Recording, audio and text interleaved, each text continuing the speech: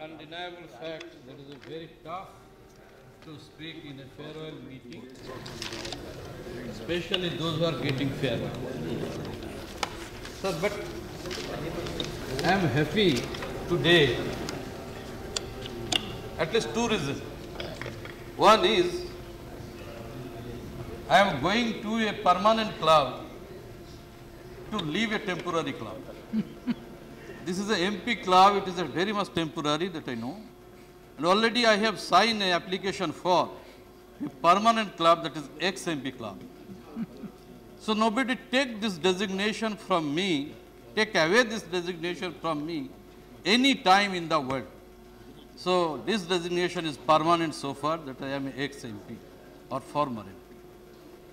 Sir, uh, as I remember, I am, it is one reason, as I remember, I became a member of a student front in West Bengal, that is Bengal Provincial Student Federation in 1969, under the leadership of President of State of that front is Mr. Shyamal Chakraborty sitting behind me. When I leave this student front, that time the president of the SFI was Mr. Yechury, he is sitting in front of me. So both are present here, I am retiring. It is another happiest moment to me. So, sir, I was a member of lower house also. So, I remember something and it will keep in my memory forever. Some excellent, excellent speech I have heard, sir, from Mr. Indrajit Gupta on the floor of the house, from Somnath Chatterjee, Mr. Atal Bihari Bajpayee, my learned friend, Mr. Arun Jaitley,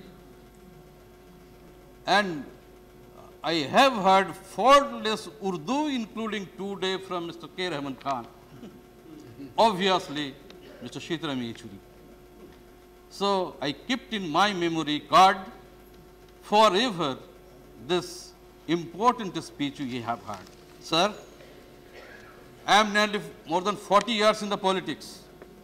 Never I am, I, uh, in a mind that I become a member of parliament or any panchayat of the country. My parliament choose me to be a member of parliament. Today, right from the 2nd April, I am out of parliament.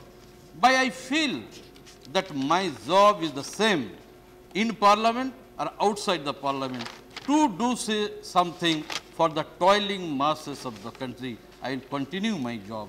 Thank you, sir. Thank you very much.